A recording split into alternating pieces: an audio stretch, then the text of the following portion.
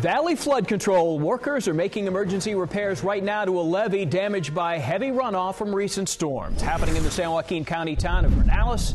That is just west of Modesto. KCRA 3's Rich Ibarra is live at the scene with what's being done now to fix the issue.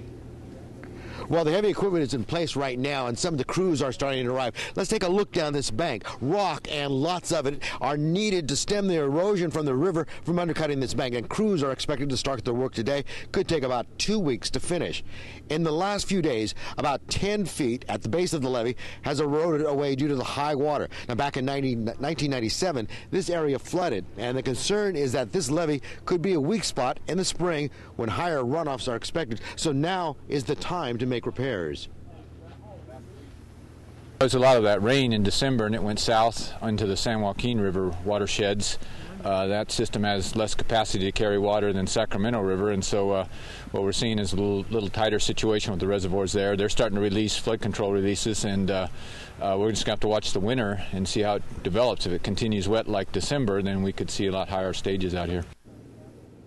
Now, 7,000 tons of rock have to be placed along this bank to stop that erosion.